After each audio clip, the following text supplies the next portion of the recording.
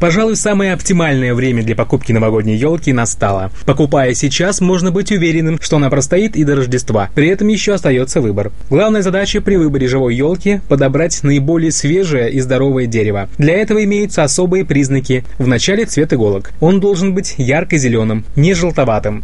Чем больше к желтому, тем ель раньше срубили, и она меньше будет стоять, не осыпаясь. Дальше, выбрав продавца, с наиболее свежими елочками, ищем наиболее здоровую. Ищем среди массы елок те, где ствол толще. Потом приступаем к другим проверкам здоровья. Например, пробуем выдергивать иголочки, проводить по ним против роста. Можно встряхнуть дерево. Свежая и здоровая елка эти испытания выдержит.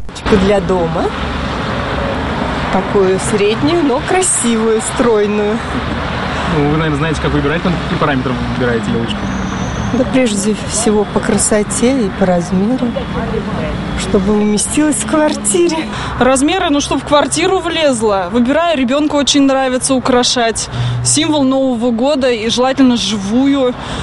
Красиво же дом стоит. Самое главное запах. А ставим в песок, в горшок. Если маленькое, если побольше в ведро, с песком поливаем, стоит до конца января. Делаю елочку в ведерочке в маленьком э, с водичкой, э, с песочком. Э, и таблетки могу положить еще аспирин. А так я из, из этой, этих веточек я люблю, чтобы шишечек несколько было, и делаю из нее елочку.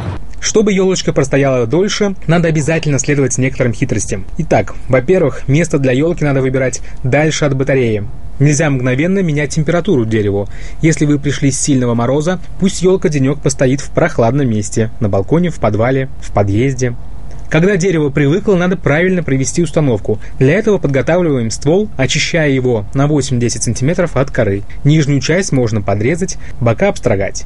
Это делается для улучшения доступа воды к дереву, так как влага ему жизненно необходима. Когда все тщательно подготовили, выбираем, как ель будет впитывать влагу. Ель можно поставить в ведро с водой или влажным песком, а можно просто обмотать влажной тряпкой. Без влаги ель осыпается очень быстро. С практики известно, что самый эффективный способ продления жизни елки елочки, влажный песок, наименее практичный – влажная ткань. И не забываем увлажнять иголки, все как с цветами. Вот некоторые рецепты для сохранения елки. Ингредиенты рассчитаны на 1-2 кг воды или увлажненного песка. Первое – щепотка соли, чайная ложка сахара и таблетка аспирина. Второй рецепт – 2 чайные ложки сахара и таблетка аспирина. Третий – пол чайной ложки лимонной кислоты и ложка желатина. Четвертый. Пол чайной ложки лимонной кислоты и растолочь мел. Ну и пятый вариант. 3-4 ложки глицерина.